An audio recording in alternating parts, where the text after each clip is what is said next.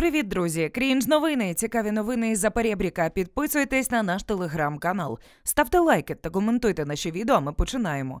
У столиці РФ Москві відреагували на затримання у Вірменії проросійського блогера Мікаела Бадаляна та оглядача радіо Спутнік Ашота Геворкяна.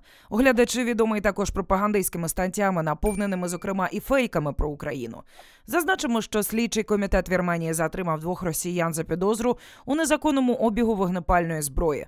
Наразі відомо, що Бадаляна затримали саме у Вірменському горісі. Там же незадовго до того він виступав на радіо Спутнік, де критикував уряд Вірменії за антиросійську позицію.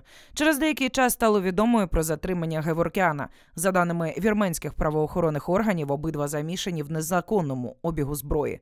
Терміново підписуйтесь на наш телеграм, щоб першому отримати інформацію. Російська сторона, як і очікувалося, відразу почала цю подію політизувати. Посольство РФ у Вірменії відреагувало на затримання сухо, висловивши занепокоєння. Натомість скандальна представниця МЗС РФ Марія Захарова прокоментувала подію у своєму дусі. На думку російської дипломатки, затримання Бадаляна та Геворкяна це нібито провокація заходу напередодні проведення в Єревані російсько-вірменського медіафоруму.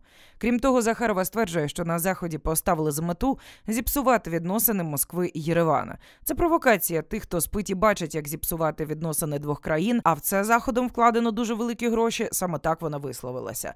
Але цікаво те, що про вогнепальну зброю підлегла Лаврова, як не дивно вирішила змовчати.